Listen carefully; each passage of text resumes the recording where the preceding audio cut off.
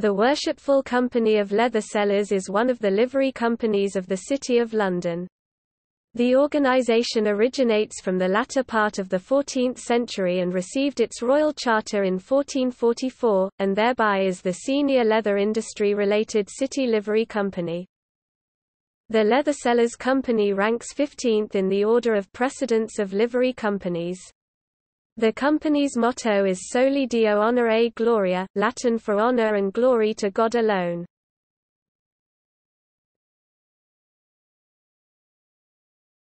Topic: Activities The company, which originally regulated leather merchants, continues to act as an advocate for the UK leather trade, together with its leather-associated livery partners, cordwainers, curriers, girdlers, glovers and saddlers. Like all these other companies, today it is primarily involved in philanthropic, charitable and educational activities.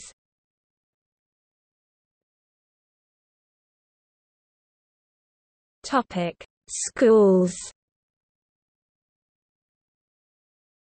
The company is very closely linked with the Leathersellers Federation of Schools formerly Prendergast School, now comprising Prendergast Hilly Fields College, Prendergast Ladywell Fields College and Prendergast Vale College, all located within the London Borough of Lewisham.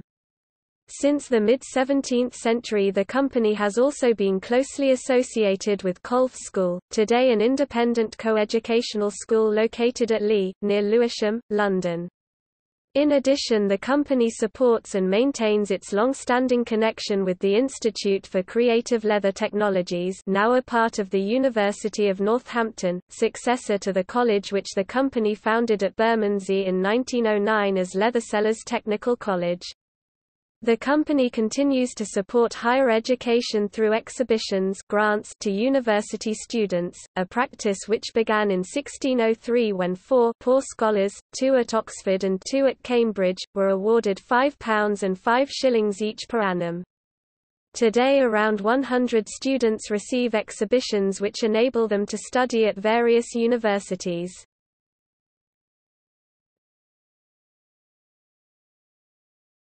Topic: Affiliations.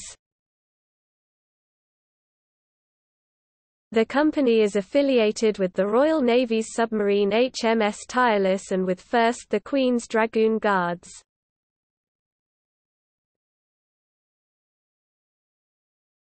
Topic: Almshouses. Like many other livery companies, it has a long tradition of maintaining almshouses. The first almshouses run by the company were built circa 1543–44, close to Leather Sellers Hall, on a site behind St Ethelburga's Church and housed seven elderly people. In 1837 the company also built almshouses at Barnet in North London. These were extended in the mid-19th century. In 1866 it was decided to close the almshouses in the city and remove the residents from there to join those already at Barnet. The company still maintains almshouses in the London Borough of Barnet, now known as Leather Leathersellers Close, home to about 20 residents.